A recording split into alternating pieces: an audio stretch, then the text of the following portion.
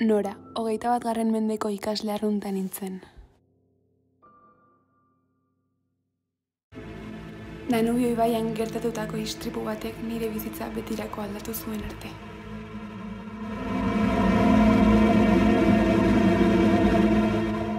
Bi mendeko jauzia denboran.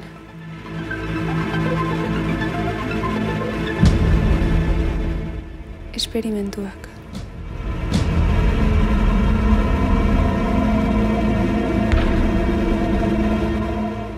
Iesa. Eta honek dakartzan ondorio larriak.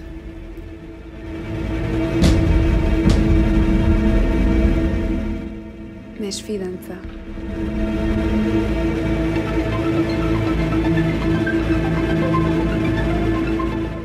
Baina gehien bat justizia eza.